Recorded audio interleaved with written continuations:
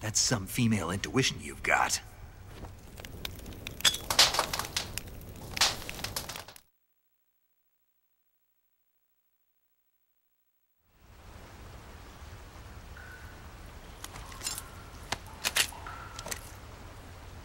Eva, didn't you steal some explosives out of the fortress?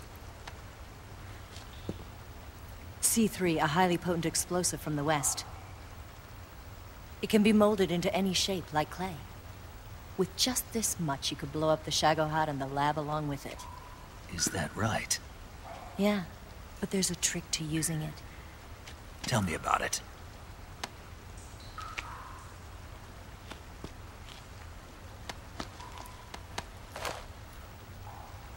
Well, what do you think?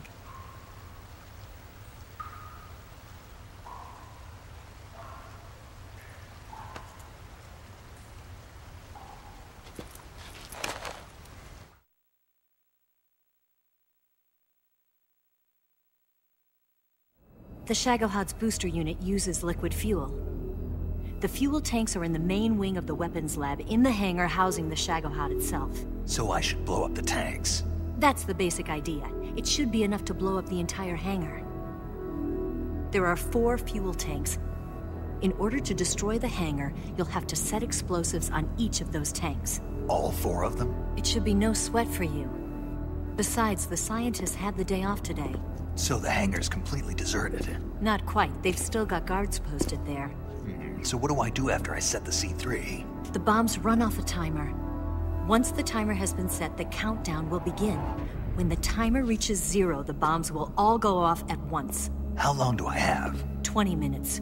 Once the Phase 2 trials are finished, I wouldn't be surprised if they kill all the scientists to prevent them from talking. So you've got to act fast. I'll take care of it.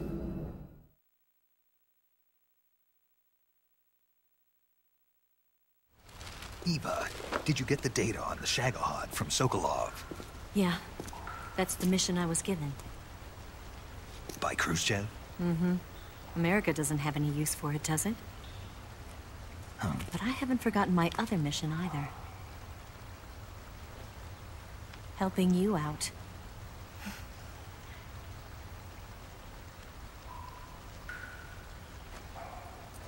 Follow this cave and go up the ladder at the end. You'll come out inside Groznygrad, just southwest of the weapons lab.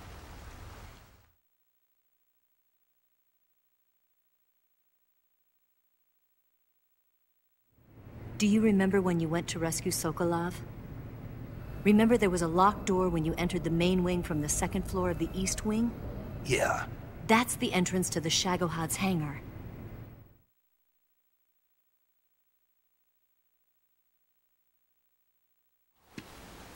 Use this key to open that door. The door right when I entered the main wing? Got it. What about you? I'll get things ready for our escape. There's a rail bridge to the north. I'm gonna set a bomb there, so I'm taking half of the C3 with me. Right. I'll set off the weapons lab then. Try not to be in the neighborhood when it happens. Gotcha. And watch out for Ocelot. He suspects you're not who you say you are. Don't worry. The Colonel still trusts me.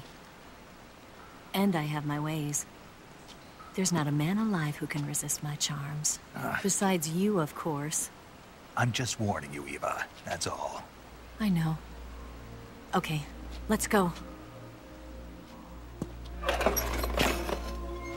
You seem like you were born on one of those. If I didn't ride every day, I couldn't go on living. Huh? When I'm riding, the wind hits me so hard that it hurts. That pain keeps my mind off the pain of having to be someone else. It's not easy always fooling myself like this. It's only when I'm on the bike that I'm free to be the real me. I only get off my bike when I fall in love or fall dead. What's your name? Tatiana. No. Your real name. What's wrong with Tanya? Huh. okay, Tanya. Don't let anyone see you. Huh. Oh, this? It's a button camera. What did you do that for? Insurance. To make sure you don't double cross me.